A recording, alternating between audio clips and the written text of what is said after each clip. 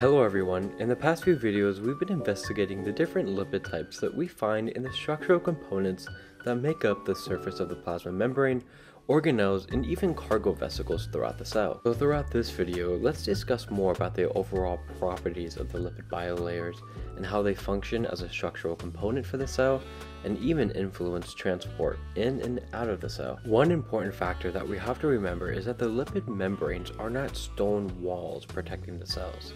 Yes, these lipid bilayers are extremely important for the cells and organelles, protecting their contents from the external environment and allowing them to retain their energy producing processes locally. I do not want to diminish their functions of protection, yet lipid bilayers are also just as crucial with assisting with transport of important biochemical precursors, nutrients, byproducts, and more, and none of it would be possible if the lipid bilayer was not semi-permeable meaning that some materials can migrate through where others are limited. But before we dive deeper into the transport associated with membranes, let's first discuss how molecules move and behave, starting with Brownian motion, or the idea that molecules are randomly moving, colliding, and traveling in solution. So when we analyze a group of molecules, each one is going to have their own random motion in solution. Yet, where each individual motion of molecules is random, we can analyze net migration over time of molecules, such as diffusion. Diffusion is a property, which is a natural process where molecules, both the solvent and solute, move from areas of high concentration to areas of low concentration. For example, think about how food dye spreads in a cup of water, starting from an area where the initial drop was of high concentration and spreading out into areas of lower concentration.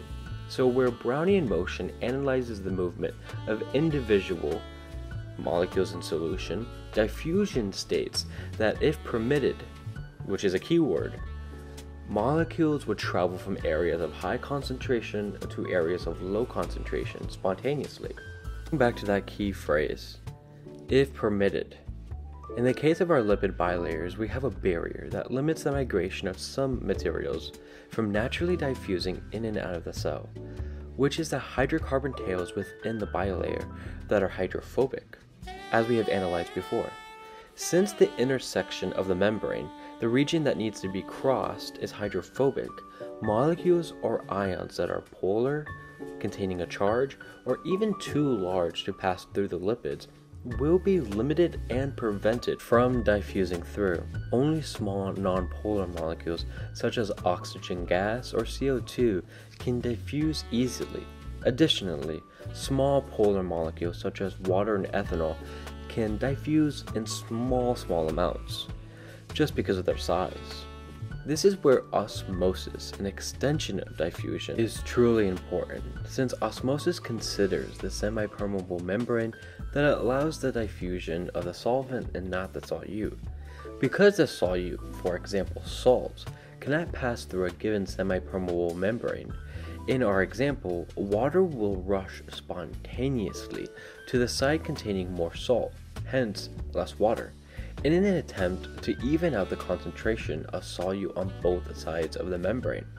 So going back to our cell, even though some molecules cannot migrate, other molecules will respond to varying concentrations through osmosis. We have gotten ourselves into a little issue. We just discussed that large polar molecules, such as glucose for example, cannot diffuse through the membrane, yet cells need sugar to convert to ATP for energy. This is a great time to introduce another influential component in cell membranes that we will dive into more later, but as a really good introduction, protein complexes in the cell membrane assist in communication, transport, and dozens of other biochemical pathways. Yet throughout this video, I just want to focus on how they assist with cellular transport case for diffusing ions or polar molecules, we need to talk about a class of protein complexes called channels and carriers. Both of these protein structures transverse through the membrane to help with transport in different ways. No worries, these complexes respect the properties of membranes we have been discussing prior. Within the bilayer, the complexes are linked with hydrophobic amino acid residues that allow them to incorporate in the membrane structure. Channels are complexes that create a channel that is lined with hydrophilic amino acid residues within the membrane to allow for transport through osmosis. This allows ions to flush in and out of the cell at really good rates, since each complex is designed to assist the migration of a specific ion. Whereas carrier proteins have enzymatic functions, changing conformation to migrate the molecule or ions they associate with across the membrane. In the case for this complex, we need to reset in order to transport again. So, channels transport a little faster than carriers. If a channel or carrier complex moves molecules down their concentration gradient, like what we saw with diffusion, the transport is called passive transport because no added energetics is needed. But in some cases, cells have to transport in and out biochemical materials and molecules against their concentration gradient and against the natural flow of diffusion. This is called active transport.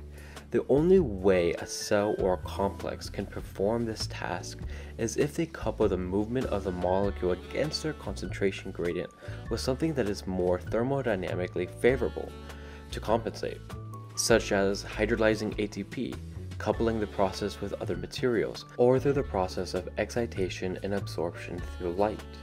All these processes help push something against their concentration gradient.